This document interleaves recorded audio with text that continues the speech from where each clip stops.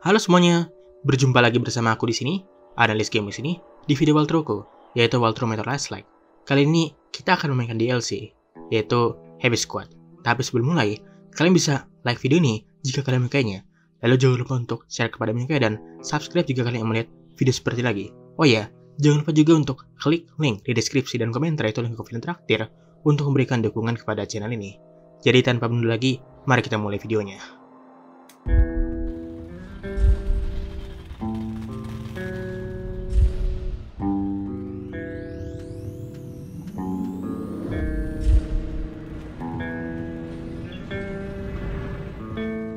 Ada berbagai macam pilihan di sini. Kita akan pilih chapters, kemudian new mission untuk memainkan DLC. Ini dia heavy squadnya. Ada difficulty-nya tapi aku sudah jelaskan ini. Kita akan memilih Ranger Hardcore. We must prepare for a great war, the final war, and it will end with the triumph of our race. The mailed fist of the legions of Reich will challenge our enemies. And if the Jackals will not surrender D6, we will take it by force! Hellreich! Kedengarannya itu adalah pidato dari viewer ya. Hmm, Gatling.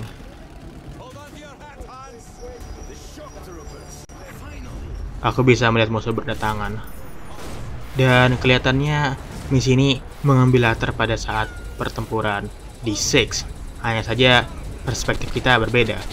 Jika di main game kita menggunakan Artyom atau Sparta, di sini kita menggunakan Hans atau salah satu anggota Portrait.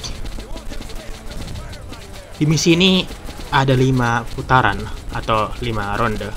Di putaran pertama, aku akan menghadapi trup. Untuk menghadapi trup ini, aku akan menembaki mereka menggunakan Gatling ini.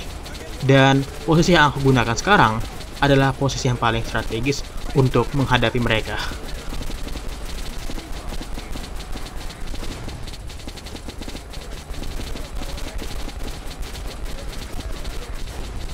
Tunggu sebentar. Right, aku mau reload terlebih dahulu. Baik, aku siap untuk lanjut.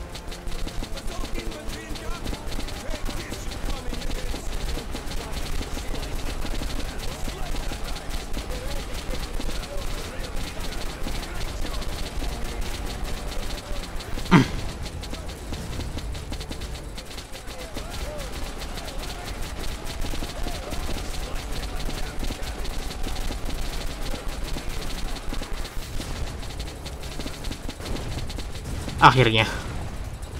Ya, jumlah mereka banyak sekali ya. Dan ini baru putaran pertama. Dan gue kira sudah habis tadi. Aku akan perlu ini.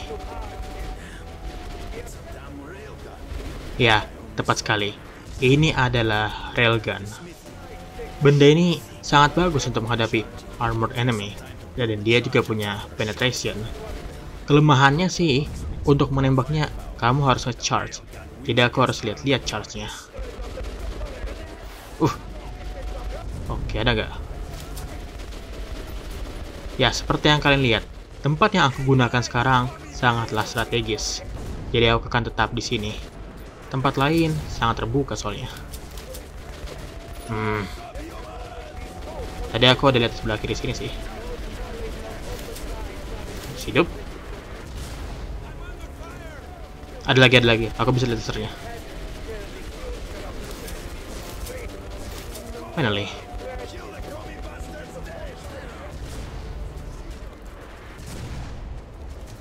hmm reloading aku nge-charge dulu bentar.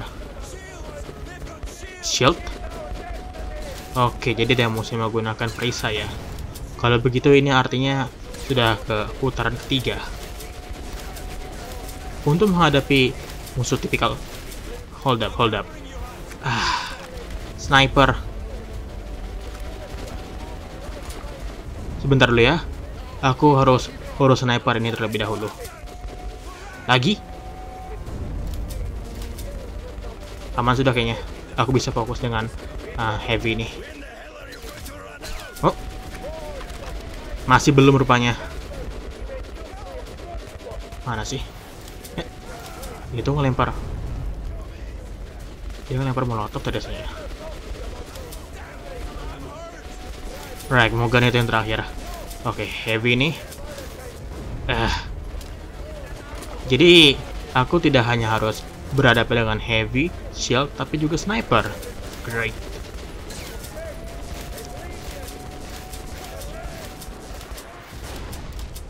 Hmm, masih belum. Dia stun sih. Hmm. This is fine. Right, lagi. Masih nge-stun dia. Eh.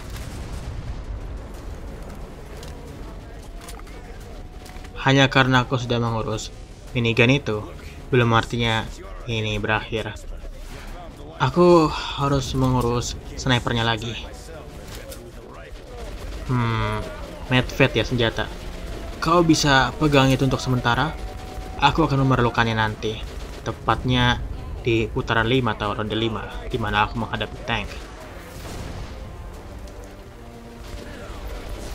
Hmm. Berdatangan lagi ya. Alright, aku rasa aku udah lihat apa-apa di sebelah kiri. Tengah, nggak ada. Berarti sebelah kanan, sebelah sini berarti. Right. Ah, di atas. Coba tembak kakinya. Ada lagi? Auto save. Itu artinya ronde ini sudah berakhir. Ya, ini adalah ronde 4. Ronde 4 sama dengan ronde pertama. Aku akan menghadapi musuh yang berdatangan ke arah sini. Bedanya, mereka menggunakan armor yang lebih baik. Dan senjata mereka lebih keras. Dengan kata lain, damage mereka akan lebih sakit dibandingkan musuh di ronde pertama. Strateginya sama dengan ronde pertama, yaitu tembak mereka menggunakan minigun di posisi sekarang.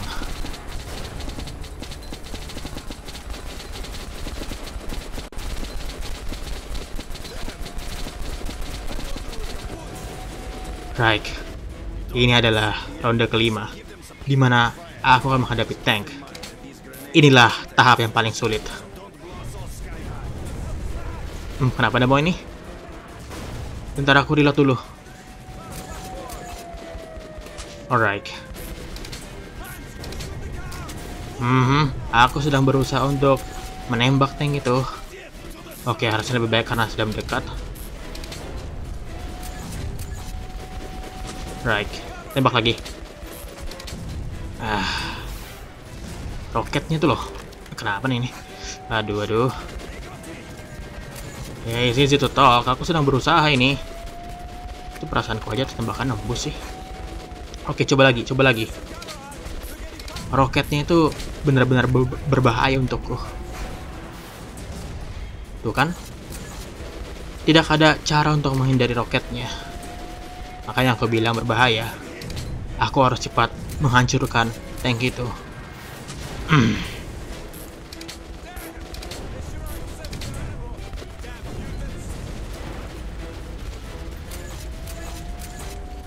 Baik, coba lagi. Setidaknya, aku sudah melihat kerusakan pada tank itu. Jadi ada progres. Aku hanya terus lakukannya. Kita pasti bisa kok. Oh, akhirnya. I did it.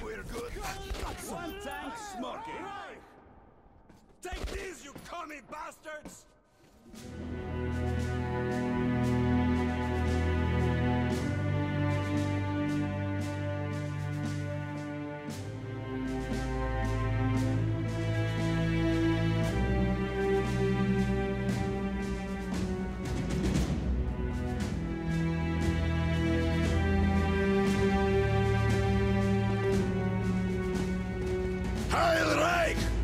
Heil! Heil Reich! Heil Reich! Heil Reich! Heil Reich! Heil Reich! Baiklah semuanya, aku rasa videonya sudah cukup sampai di sini.